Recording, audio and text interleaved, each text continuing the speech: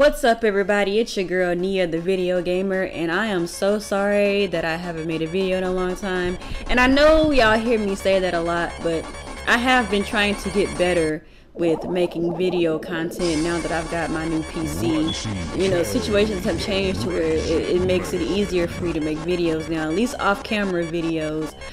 But um, I just wanted to take a moment to just kind of enlighten you guys on what has been going on with me.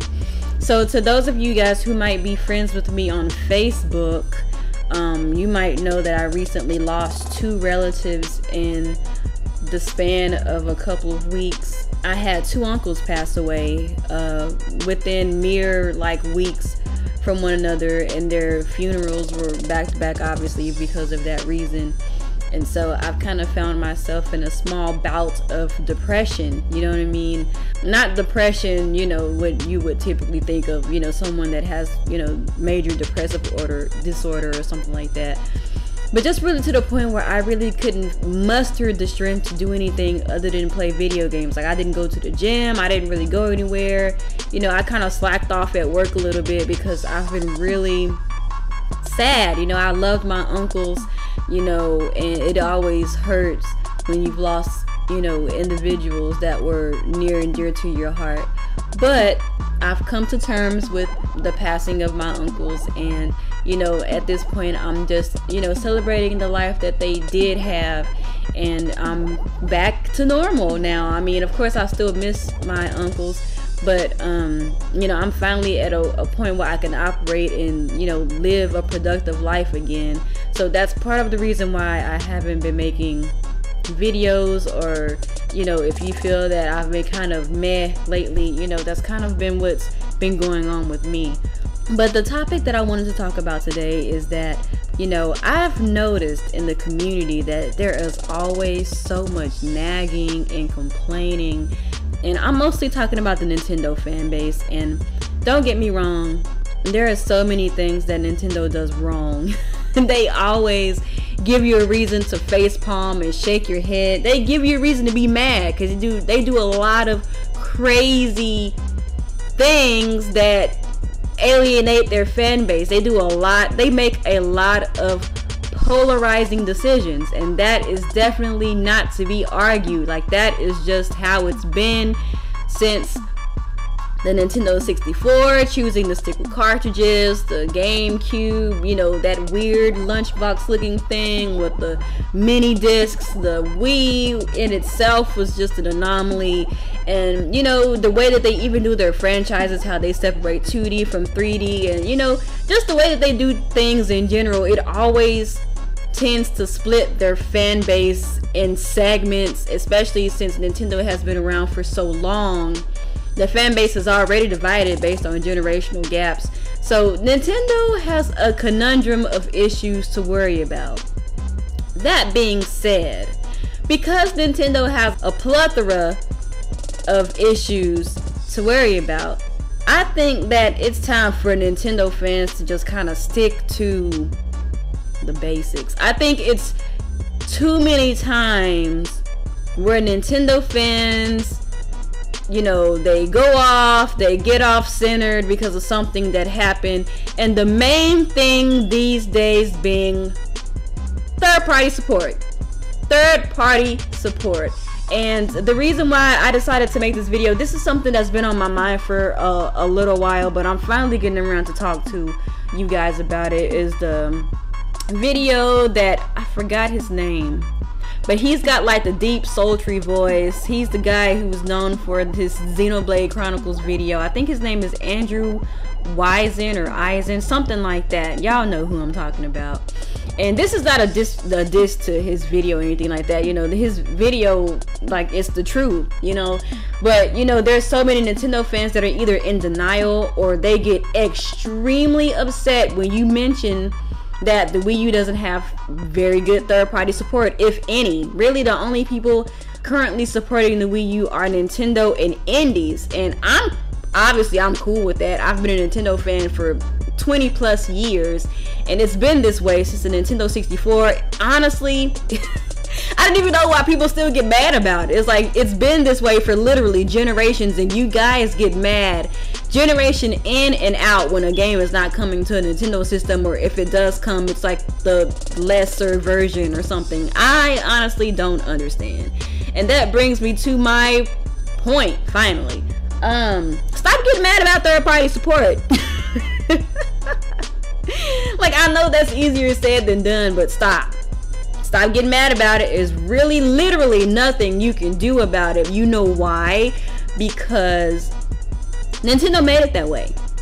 These are institutional things, policies uh, that Nintendo has upheld since its uh, foray into interactive entertainment.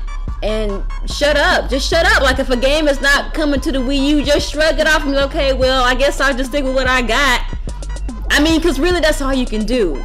Because, like I said, you know, the thing with third party support that is a company to company situation. That is only something that Nintendo can fix with uh, connecting those ties that they've lost amongst some other things like the way that they make their hardware. All of that stuff is stuff that will take years to put into action.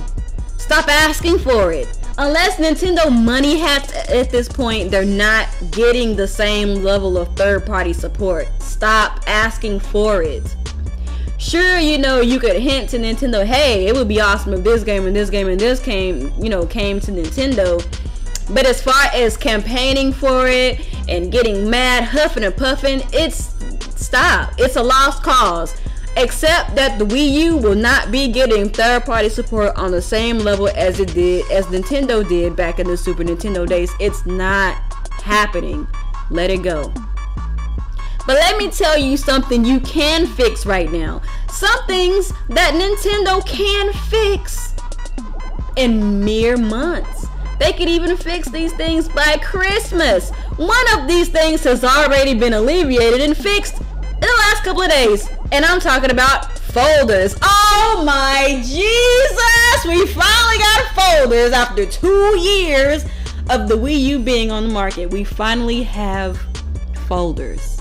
That is incredible, am I right? So, obviously, I'm talking about things that can be fixed like system wide invites, on screen notifications, party chat, messaging through the friends list, all of these things could literally be fixed in a firmware update by Christmas. I promise you there's a way it could happen if Nintendo's programming team let the higher ups know like, hey, look, the Wii U is currently not user friendly.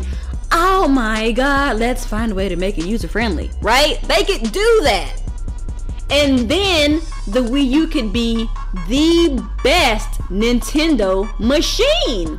It might not have third party support, but it will have all of your favorite Nintendo franchises, some amazing indie games, and a user friendly interface. Wouldn't that be amazing? I'm sorry for my passive aggressiveness, but this is really a serious thing for me. And when I see Nintendo fans complaining about things that will literally take years to fix, things that don't rely solely on Nintendo because other parties are involved, aka third parties, it really makes me wonder if people would take the same energy that they use to campaign for third party games that don't want to be on Nintendo in the first place Imagine how powerful the fan base could be with Nintendo fixing internal changes. Things that Nintendo themselves have the power to change. They don't have to talk to anybody else. They don't have to consult with anybody else. These are internal Nintendo things that they can fix.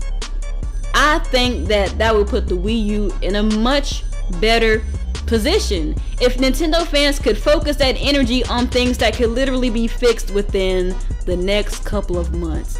Because when Super Smash Bros. for Wii U comes out, I don't want to have the same issues that I'm currently having with Mario Kart 8. I love Mario Kart 8. It is one of my favorite games that has released this year.